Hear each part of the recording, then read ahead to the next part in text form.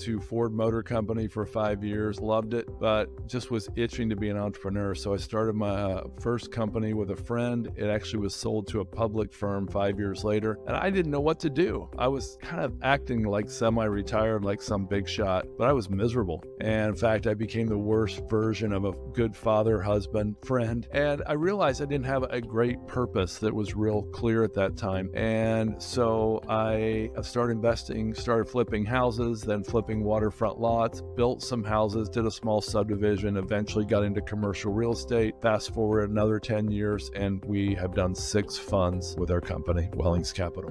That was Paul Moore of Wellings Capital. That was Paul's second time on the show, and he is a wealth of knowledge. He's a regular contributor over at Bigger Pockets, and I love reading his, his blogs and his stories. So I hope you do too, so go check that out. But let's get into the show and hear what he has to say about today's market. The limited partner shares in the potentially outsized returns of a well planned and executed investment, but as a passive investor, and has the maximum leverage on their most precious asset, their time. And that is why we're here together. 90% of the millionaires out there built their net worth with real estate. However, 0% of the billionaires are hands on managing their real estate assets because there simply isn't enough time. My name is Jake Wiley, and for the past 16 years, I've been investing in real estate and I've learned a thing or two. But the most important lesson is how to leverage the expertise and time of others to maximize your investment potential. Welcome to the Limited Partner Podcast.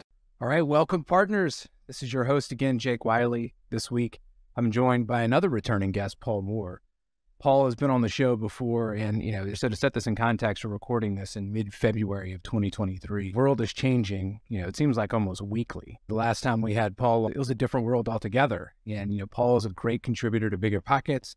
He's got a, a really great thought leadership that he's putting out there, and I wanted to bring him back so that we could have additional clarity on what he's seeing in the market. Paul, welcome to the show. It's great to be here again, Jake. Thank you so much for having me on. Yeah. Well, Paul, you know, for the benefit of my listeners out there that maybe didn't catch the first show, I'd love to give you a couple minutes here just to give us a high level overview of who you are and how you got to where you are today. All right, fantastic. Well, I had an engineering degree, MBA, went to Ford Motor Company for five years, loved it, but just was itching to be an entrepreneur. So I started my uh, first company with a friend. It actually was sold to a public firm five years later, and I didn't know what to do. I was kind of acting like semi retired, like some big shot, but I was miserable. And in fact, I became the worst version of a good father, husband, friend. And I realized I didn't have a great purpose that was real clear at that time. And so I started investing, started flipping houses, then flipping waterfront lots, built some houses, did a small subdivision, eventually got into commercial real estate. Fast forward another 10 years, and we have done six funds with our company, Wellings Capital.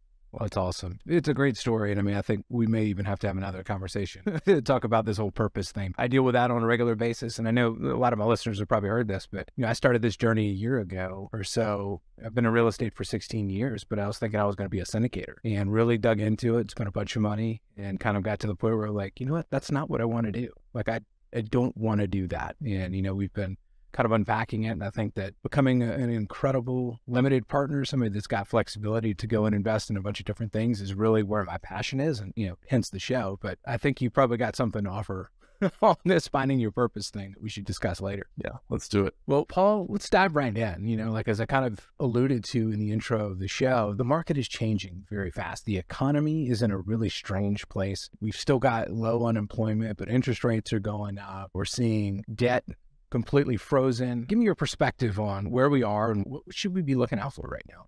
Yeah. So I was in my church lobby on Sunday, and the largest real estate and most successful, I would think, real estate developer that I have ever met made a beeline for me. And he's like, Hey, can we grab lunch? I'm like, How about Tuesday? He said, How about Monday? so we got together yesterday and he was telling me about this development deal he's working on. I mean, he's working on several, but like one of the latest he's had for a year in the works, he's selling, he's already got pre contracts for a thousand lots out of 8,000 to this one very large national developer. And that's, but that's not what he wanted to talk about.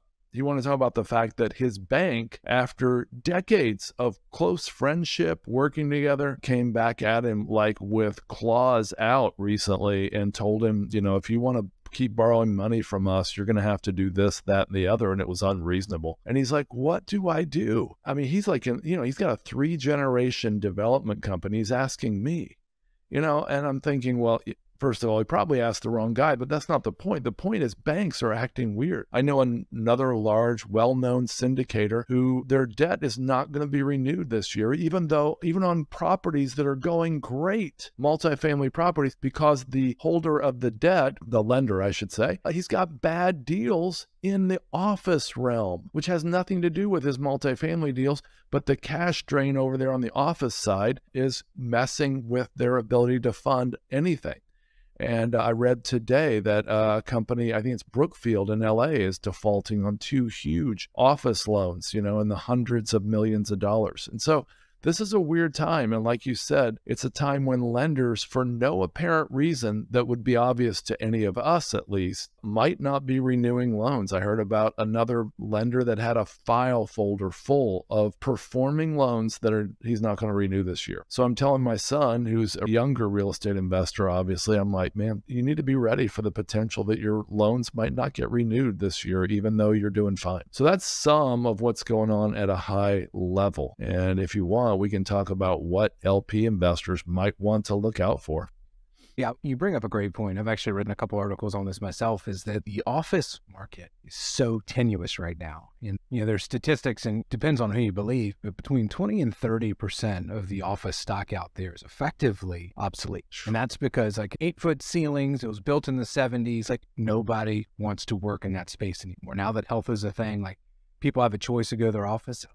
I just don't want to do that. Those offices are going empty. A lot of people out there, especially in the community, and I'm really glad you brought up this point about office affecting other assets, is that, you know, think, well, I don't invest in offices, thank goodness, right? Like I've been in multifamily, I've been in self storage, like you pick it, like office has never been my cup of tea. But I think that there is a cliff that's coming, and you just alluded to it, that the impact of, let's say, 20 to 30% of these things will never be an office again. So it's got to be something else. Yet, if you think about the average life cycle, any of these real estate investments, let's call it five to seven years as a hold. Those buildings that are now obsolete were purchased in the last decade. It's come and due. And it's not like they've, you know, well, you know, I'm sure a lot of them, some of them have been owned for forever. But that's just not the way the market works. Therefore, we've got this office that was capitalized and, you know, let's call it even be generous and say 10 years ago and it's uh-huh. effectively worthless like the banks are going to be the like generally there's enough equity in these deals to like hold them off but the, the banks are going to take a walloping on these offices and yeah. you know, I think that like what that now you're seeing in one development, you're seeing in a multifamily, there is a real issue with one asset class that's actually potentially bringing the rest of them down. Do I have that right? You got it exactly right. I think it's ironic that you know while industrial has come roaring back and retail has even come mm-hmm. back, especially certain types of retail. You know, office could be sinking. I don't want to say the whole ship, but a lot of ships. Yeah, like you, I've been privy to some interesting conversations and names, but you know, we've got some really large players out there that are raising their hand and they're asking the question, like, is you know, is office going to impact us? You know, are yeah. we going to get you know, got performing assets? Like, are we going to get hammered over the head because you know the office market? And I think the reality is, yeah, it's possible. Yeah, right. It is. Well, let's shift gears. Let's talk about you. You alluded to this too. What should LPs be looking for in this current market, right? Because we're not the operators. We're not hands on with these assets. We got to be really careful because we're trusting an intermediary with our right. money. Yeah, I would say so, here are some things we're looking for right now. Because we're a fund, we're operating, you know, we're trusting the operators, I should say, the syndicators at the asset level to make the best choices. And so here's some of the things we're looking for. One, low leverage is something to look out for. Wait a minute. Did he say low? Yeah. I said that. Low leverage is a great thing in general, except when there's preferred equity in line ahead of you, meaning you've got leverage, you've got debt, let's say it's only 50% instead of 75, but then you've got pref equity up to 85 and you're coming in as the 15% equity. Well, that preferred equity is in the capital stack ahead of you. So that's something to look out for. And of course, I was a little tongue in cheek there. Of course, we want to look out for high leverage as well, but that's not happening as much right now as we just alluded to five minutes ago with banks tightening up. Another thing to look out for would be high skin in the game. Wait, that's another good thing. Well, except when it's the sponsor's upfront fees that are paying that high skin in the game. And again, there's nothing wrong with them using that as skin in the game, but I want to see other cash from the sponsor in the game. I want to have them, you know, have a real pain a real personal hurt that is going to clobber them if things go bad, just like it's going to clobber me as an LP investor. Operating expense ratios below industry norms. We saw a deal the other day that had multifamily in the high 20s, like 28% operating expense ratio. And there are occasional deals out there, like, you know, let's say in the short term rental market or something like that, or even in the midterm rental market where that could happen. But honestly, we laughed that deal right into the circular file on the floor because what we've heard, and I hope this isn't true, but Jake, I've actually heard that syndicators actually back down their operating expense ratios to get to the IRR for investors that they want the investors want to see. I would hope that's not true, but again, tongue in cheek,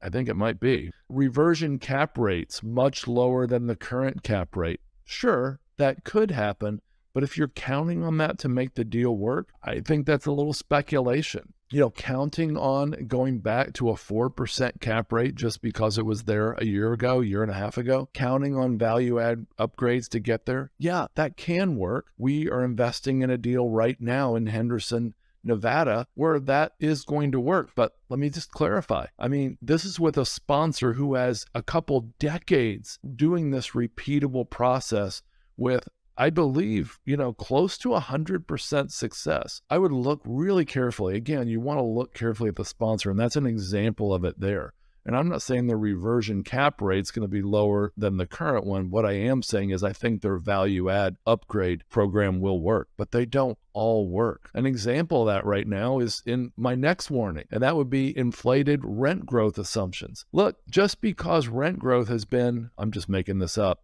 18% a year for three years in a row in a certain market in the middle of Arizona doesn't mean you should assume 15 to 18% the next three years. I think we all know that, but you know, that bias, you know, that confirmation bias, you really want to invest in this deal. So you believe that faulty reasoning, and that can cause a lot of trouble. I saw the other day, this was in the news, this large, very large syndicator, they have six and a half or seven and a half billion in multifamily assets, and they've only just, I mean, they've only been in business a very short time. These guys are very young. This is in the news. I'm not making this up. And they have to get 50% NOI growth just to break even because they stretched their assumptions too far. And they're in markets where they were assuming 25% rent growth from these value adds. Instead, they've actually had a rent decrease instead during the last year. And again, these rent growth assumptions, Brian Burke, who I know that you guys love on this show, this is a quote straight from Brian. He said this in November. Five months ago now, there were 50 out of 151 major markets with double digit rent growth forecasted for 2023.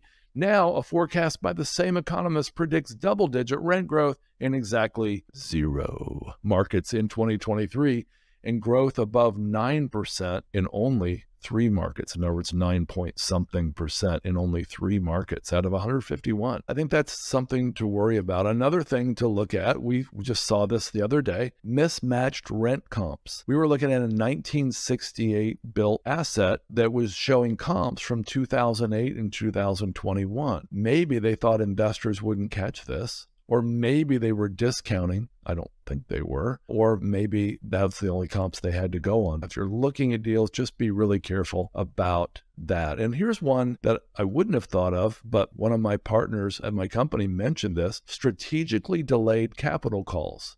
Huh?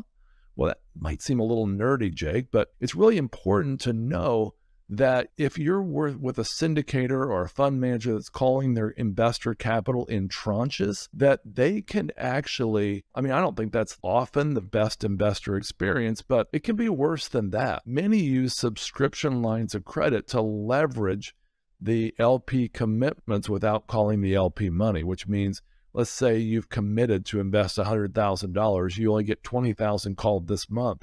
Well, let's say 4 months from now you're hoping to get the rest called they use a subscription line of credit instead to actually delay your capital call, which means you'll be in the deal a shorter time. It'll drive up your IRR, but lower your actual ROI in the end. And so that's just something else I want to just warn people to look out for in this crazy scenario that we're in right now. So that's what I got, Jake. Well, that was chock full of incredible information. And I think the, you know, as we think about the marketplace and really a lot of what we're talking about is the assumptions that go into the deal. You can look at them in kind of a microcosm. So let's just say over the past three years, you know, let's call the increase has gone up by 20%. Like when you compound that, right? Like that's probably over 100% rent growth in three years, right? So if you look at it one year over the other, it kind of is like, oh, okay, that makes sense, right? Like that's the growth rate. But when you right. look at that in real dollars, right? Let's just say a, an apartment was renting for, you know, $1,000 three years ago, it's renting for $2,000 now. Do we think in three years that it's going to be renting for four? Like, some things just don't make sense when you put it in a little bit of context. And I think that you right. know, what you're bringing up is spot on. Is that yes, it's easy to kind of look at these things and say, "Oh, that makes sense," but you got to look at it in the big picture. And then, you know, one of the other points that you brought up is some of these younger syndicators that have been growing very fast and they yeah. make me very nervous. And the reason is that, yes, they've had a good track record. And I think that one of the things we've seen touted is these investor returns is like they've actually gone full cycle on deals in three to five years. And like, if you actually think about it, that doesn't make a whole lot of sense because that's not the investment thesis going in. But the market over the past couple of years has just said like, hey, look, this is super lucrative. We've gotten to a point where we can go ahead and sell this deal and move on to the next one, get our investors their full return back That's a really small window, right? I mean, mm-hmm. they really haven't gone full cycle and full investment thesis on a lot. And right. there's a lot of pressure, especially when you're growing, and there's a lot of pressure to grow very fast. That you know, the only way to do the next deal is to do a deal right? Like you have to keep doing deals because you're collecting these fees and you're taking these fees and you're recycling them. And that's what's paying for all the people. And when right. you've got groups that are in these high growth modes, like they're taking that those deal fees and they're you know paying their people and then they're like pumping up their next one. And mm-hmm. to your mm-hmm. point, like when those assumptions don't work, and now you're talking about a 50% NOI increase year over year, like that can't work. And that will unravel very fast. Everybody's growing like a weed, like it works. But like when that catches you, it catches you like immediately. Yeah. Well, I love your show because I know that your listeners are getting incredible value because you're on the same side of the table as them. And I mean, I think this is why this is such an important podcast, Jake. Well, Paul, I appreciate it. It's sometimes it feels like it's all doom and gloom, but I think that there's always opportunities out there. And yeah. I kind of want to like pivot, right? Because we've talked about like you know, maybe you should just keep your money in your pocket. But I actually, I should probably change the intro to, you know, talk about where real wealth is created. And it's created in downturns, right? And mm-hmm. there's like the opportunity to grow. So, like, you can't one just blindly hand your money over to somebody that's been doing this for a while because they can use minute assumptions throughout their, you know, their forecast and make the numbers work. And they all yeah. look small and they all look quasi reasonable. But, right. you know, there are going to be opportunities. And I think that, like you've alluded to it, kind of indirectly is that there will be deals that will not be refinanced and they're going to have to do something with them. They don't go away, right? Like in its apartment right. full of people that's still paying rent. It's going right. to go somewhere, but it may not stay with the current owner. And how yeah. that deal gets exited, you know, TBD. But these are the times where there's opportunities. There's going to be real players out there that have been sitting on mounds yeah. of cash to deploy yeah. to get into these places. But let me get your opinion. Where do you think the opportunities are? So, in late September 2008, a year which will live in infamy, Warren Buffett pivoted and he bought in $5 billion of Goldman Sachs. Oh, man. If you, I mean, now we can look back at it differently, but remember, we're in a rearview mirror situation. At that moment, he looked like he could have been flushing $5 billion down the eternal drain, but uh, he bought in pref equity. And I would really encourage people, I don't really love being in the last seat in a pref equity deal where there's like two tiers of equity. But it's a great time to be in pref equity right now. I would just say that. And he got pref equity and he made a whole lot of money from that $5 billion investment in uh, Goldman Sachs. Howard Marks is one of my favorite authors.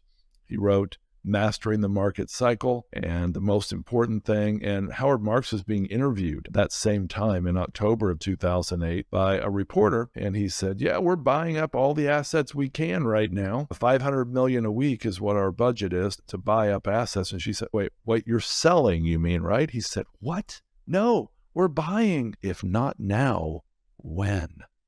And the point is, it is a great time when things are going really bad. You know, you've heard blood running in the streets and fearful when others are greedy and greedy when others are fearful. It's really true. Now, I don't think we're clearly not at that point yet, but wouldn't this be a great time to be stashing away, you know, and preparing, you know, your cash to be ready to invest in deals like that? I think clearly, I don't know when, but certainly by the third, probably the fourth quarter of this year, we're going to see some deals hitting the market. I mean, there's already some out there where we might be investing in one that already fell out from a syndicator that lost it. And if you can buy that for 50 cents on the dollar from the bank, like you said, it's an operating business. Oh man, what an opportunity. Yeah, and I, like one point that I think we should make is that there might be an intent to kind of sit on your hands and wait for these opportunities. But the other side of the coin is like you got to have your checkbook out and ready to go when they show up because yeah. somebody's going to scoop them up. And these things move fast, they move quietly. And uh-huh. generally what's happening is that, you know, behind closed doors, these things are getting brokered. And if you yeah. have an opportunity and you're looking at one of these things, it can't be, well, let me just beat this thing to death. Like if you're working with the right partner, and I think you've yep. done a great job of highlighting this that knows what they're doing and they've done this before and they see the opportunity and they bring the deal. Like you got to be ready to go. I mean, yep. you're just going to pass you by. So it is kind of a tough on one side to be like, well, I don't want to catch the falling knife while things are falling. But yep. at the same time, like there are a lot of performing assets out there that are you know, are going to change hands and they're going to change hands at great deals. Yeah. And I want to be really clear. I wish I'd have said this earlier, and I know you would agree. I don't want to see anybody lose a dollar. I mean, I feel bad for those guys, the six and a half billion dollars guys, investors. You know, I feel bad for anybody and our friends, our competitors, whatever. I hope nobody loses on this. And there is a way out, and that way out would be quickly dropping interest rates real soon. But, you know, history tells us that it's probably not different this time. Trees don't grow to the sky, and there's going to be some chopped down really soon. And one thing I think I'd be remiss is can you explain this pref equity piece a little bit, right? Because we talk about being a limited partner and having a passive yeah. piece of the pie, but pref equity is a different slice. Yeah. So, of course, you've got debt and you've got lenders who would have been possible loaning 73, 75% LTV or LTC in this case, actually. And then that syndicator might be looking for 25 to 27% equity. Well, now they're having a hard time scraping together the equity because that's slowed down. But now the banks come back and sometimes at the last minute say, whoops, we're only going to give you a 50% LTC loan. What now?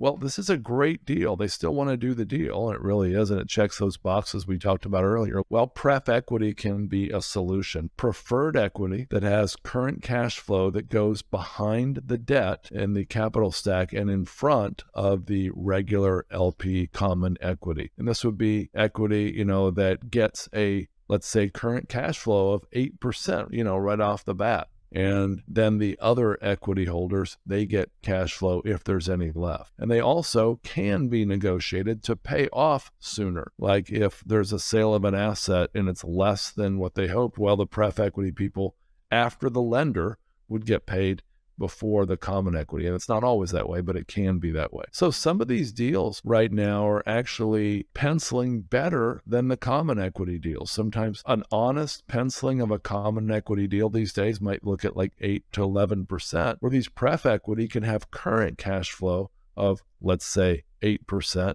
and then sometimes a limited upside of six or eight more percent, getting it to a 14 to 18% total coupon. And so those can look really good. The downside for pref equity, there's a few.